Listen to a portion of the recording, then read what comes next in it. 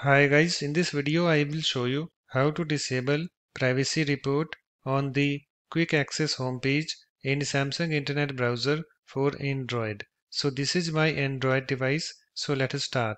So first of all, you have to open your Samsung Internet Browser. So here is my Samsung Internet Browser. Let me tap on it to open it. It's now opened and you can see guys, I have this quick access homepage. Okay and on this you can see I have this privacy report showing. So to disable it just tap on this three horizontal lines this menu icon at the bottom right and then tap on this settings and then tap on this home page.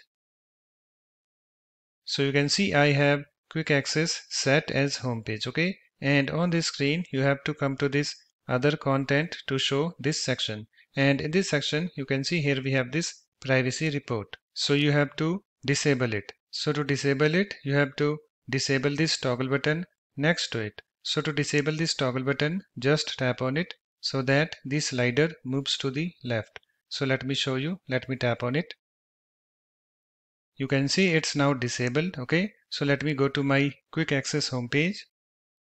You can see I don't have privacy report okay? So it's now disabled. So that's it. In this way you can easily disable privacy report on the quick access homepage in Samsung Internet Browser for Android. So thanks for watching. If you like my videos, please support this channel by subscribing to it.